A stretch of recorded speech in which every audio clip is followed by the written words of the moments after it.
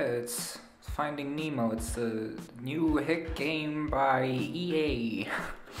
ah, it lets you choose if you want to be a male or a female. Um, so I guess you sort of start on a beach, and um, as you go on, you sort of go up the hill. It's, I guess, in a way, it's a metaphor for life. You have a vision of a fish. You see it through the eyes of the fish. How how the fish industry is basically killing all the fish. I don't know if EA was the right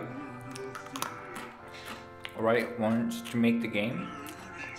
And they put in microtransactions so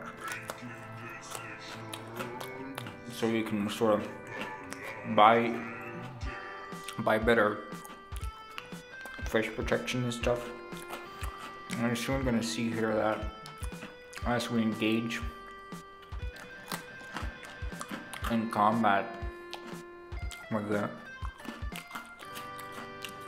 the workers at the fish industry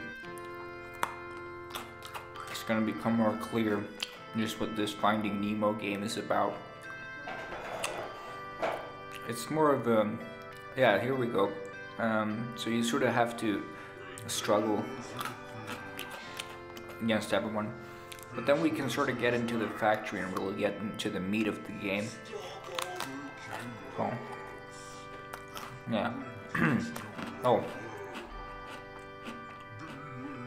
Oh. Hmm.